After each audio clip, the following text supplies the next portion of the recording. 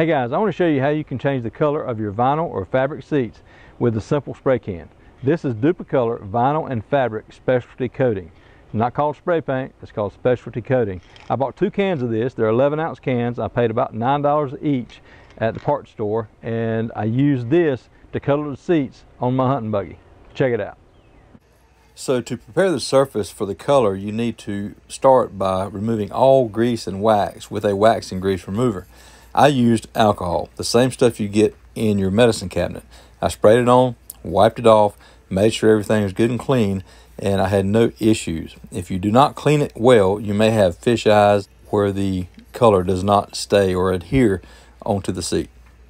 Also, cover up anything you don't want sprayed. I used regular painter's tape for these handles and it worked great. And spray in a well ventilated area. I sprayed this seat outside. You can't clean it too much. After taping it up, I went back and cleaned it one more time with alcohol.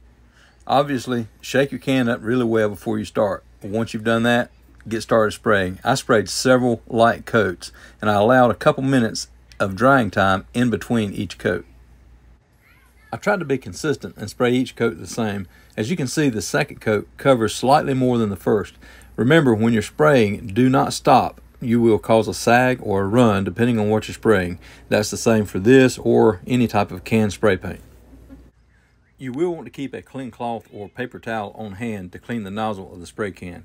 And as you can see, the third coat is really starting to bring this seat to life. Now I've already sprayed the fourth coat, and as you can see, there are streaks, and that's just where the white's not covered quite enough.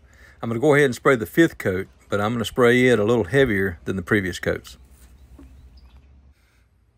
So after spraying this last coat a little heavier, you'll see that it looks a little frosted over. And from all the information I've read and videos I've watched, it says don't worry about it. That will disappear as it dries. So that's kind of what I'm counting on at this point.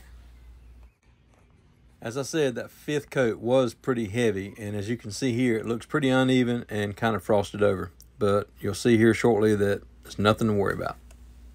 Now before I show you the finished product there on the seat, let me show you that I did do the seat back as well. And it's white, the same color, it's the same material, the vinyl. And I did do five full coats, just like I did with the seat. Okay, here's the before picture. Definitely not something you want on your hunting buggy, as bright as that is. And the finished product. I think that looks so much better and it was super easy. All right, guys, I just wanted to show you up close in the right light you can see some stripes. And I have a feeling that is user error. I don't know. This is my first time using this Duplicolor and the camera's picking it up more so than, than the naked eye. I don't see it a lot unless it's in just the right light. There you go. You can see a little bit of striping there. I don't really see it on the backs just there on the seat. So uh, am I satisfied with it? Absolutely, 100%. That seat stuck out like a sore thumb beforehand, and now it is black. It will not stick out. Now next, I got to camo it, but I just want to show you that. I don't want you to think it's absolutely perfect. I probably would not try anything on the interior of my vehicle with this. But for my hunting buggy, as far as I'm concerned, that old front seat looks as good as this new back seat. All right guys, that's it. I just want to show you a quick and easy way to change the color of your vinyl seats with a simple spray can. And it saved quite a bit of money. I originally looked at purchasing new seat covers, which was about $200. And after looking at these seats with no nicks, scratches, or cuts, I could not just discard them, especially after finding the Duplicolor.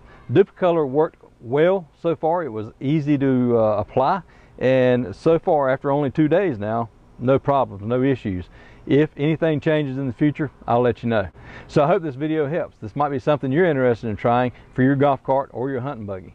If so, give it a shot and let me know how it goes. Thanks so much for watching guys. Have a great day.